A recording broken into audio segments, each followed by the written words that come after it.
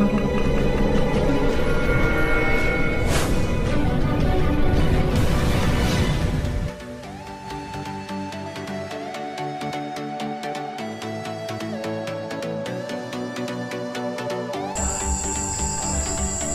U20 Indonesia menggila, hajar Fiji, Arhan Fikri cetak gol. Inilah hasil pertandingan Timnas U20 Indonesia versus Fiji. Turnamen mini internasional uji coba jelang Piala Asia U20 2023. Laga Timnas U20 Indonesia versus Fiji diselenggarakan di Stadion Utama Gelora Bung Karno, Senayan, Jakarta pada Jumat 17 Februari 2023. Laga berjalan sengit sejak awal pertandingan.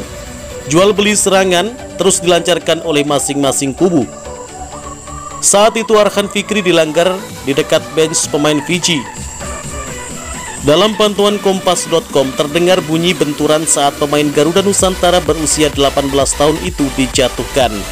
Sintayong tampak sangat geram dengan perlakuan kepada Arhan Fikri. Ia lantas bertolak pinggang seraya menghampiri bangku cadangan Fiji. Tak sampai di situ, Sintayong juga tampak menghampiri pelatih Fiji, Rodolfo Antonio Zapata.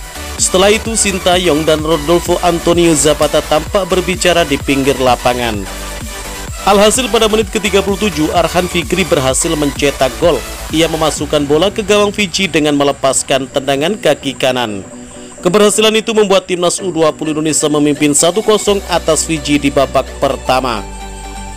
Melihat gencarnya serangan timnas U20 Indonesia di babak pertama, sudah bisa dipastikan timnas Indonesia di babak kedua akan menambah pundi-pundi gol pada malam hari ini.